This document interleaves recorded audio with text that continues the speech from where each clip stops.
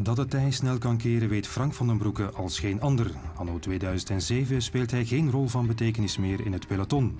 Terwijl hij in 1999 in Luik-Bastenaken-Luik de concurrentie, onder wie Michele Bartoli, nog helemaal aan rijdt. Ja, Van den Broeke daar. Vorig jaar ging hij op Laredoutis naast Bartoli rijden, maar dat had hem beter niet gedaan. Dat was zo'n beetje uitdagend, zoals hij is. En Bartoli versnelde dan en Van den Broeke verslikte zich in die versnelling.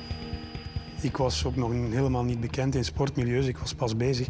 En ik heb dan het initiatief genomen om in het café van Frank van den Broeke zijn ouders in Ploegsteert de wedstrijd te gaan volgen. Elk woord dat Frank toen uitsprak in Ploegsteert werd geloofd. En Frank had gezegd, ik ga winnen. Ik ga Bartoli in de ogen kijken op Laredoet. Ik ga er daar wat mee dollen en ervan wegrijden. En, en iedereen was er daarvan overtuigd dat hij zou winnen. Bartoli, toen de grote figuur in het, eh, het internationale wielrennen. En, VDB zou hem een lesje leren. En dat, dat kan je niet geloven op zo'n moment.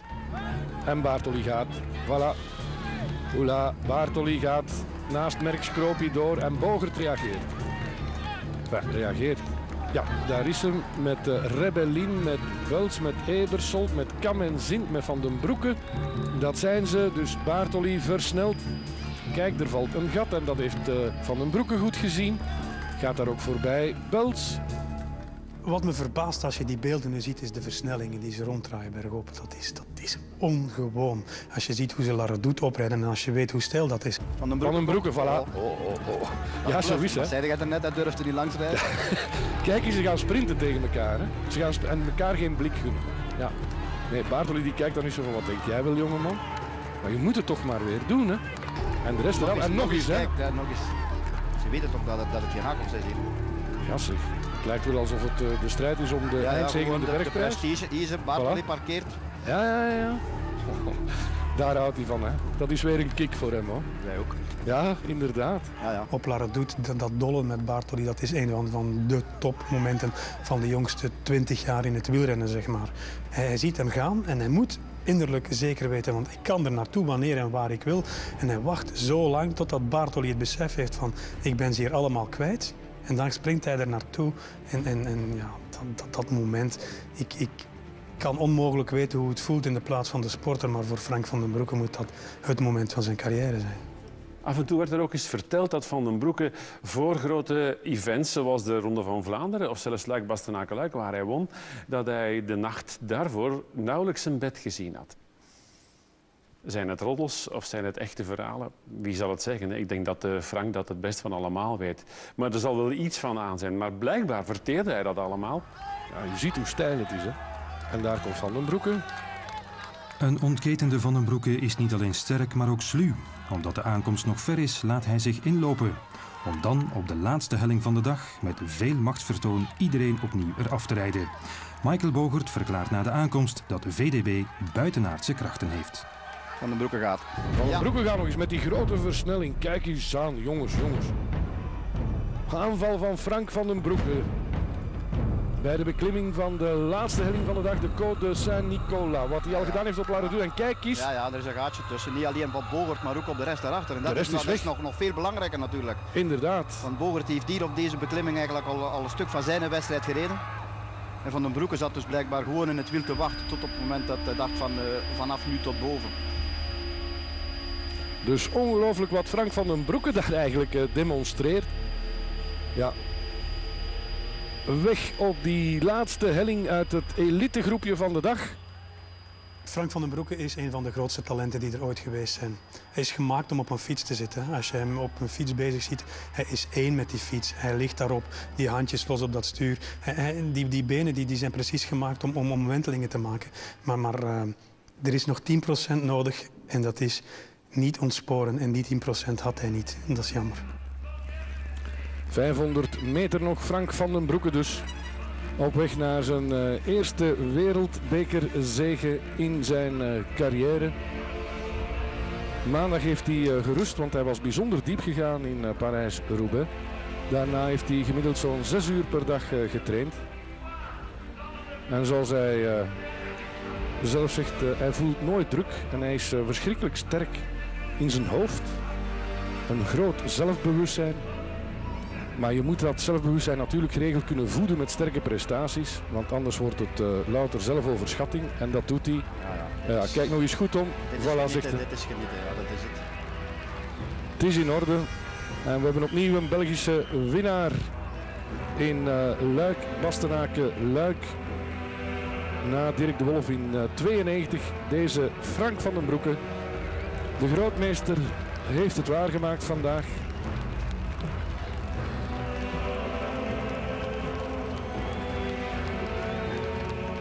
Na de klassiekers demonstreert Van den Broeke zijn suprematie ook in de Vuelta.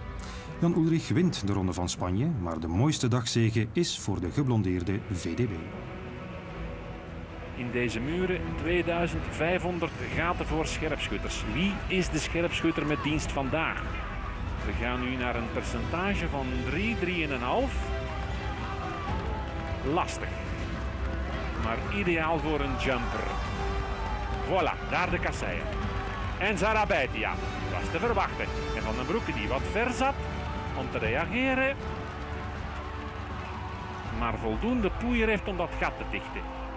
Hopelijk gaat hij dat niet te vroeg verschieten. En schat hij deze inspanning goed in. Is de rest weggeblazen. Heras en Jiménez doen er alles aan om terug te komen. Ulrich blijft passief. Tiepoli die wil nog graag mee, maar die krijgt het lastig. Het blijft nog een endberg opgaan hoor. Van den Broeke voorbij Zarabaitia met de klap erover. En nu mag hij niet meer stilvallen. Ho, ho, ho. Gaat niet op de foto staan. Hè. Wat een machtsontplooiing. Niemand in staat van deze man in Verona te volgen. Als hij het hier in Avila, Avila kan, wat dan in Verona?